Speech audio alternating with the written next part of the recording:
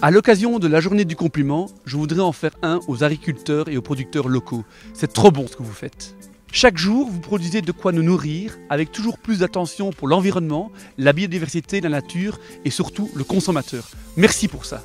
C'est en pensant à votre engagement que je souhaite d'un point de vue personnel et professionnel soutenir les cantines bio, les produits locaux et les produits de saison. Música